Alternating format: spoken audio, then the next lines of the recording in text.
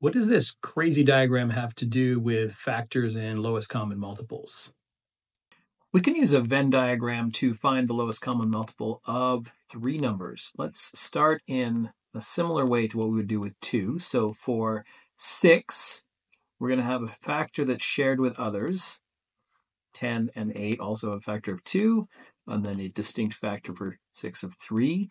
10 be 5 times 2, and that's not shared with 6 or 8, so we'll write the 5 there.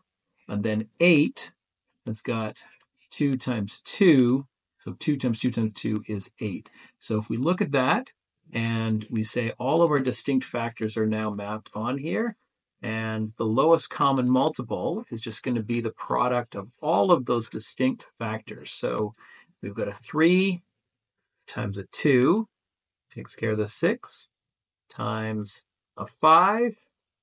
And we've got 2 remaining for the 8. 2 times 2. So those are all of our distinct factors.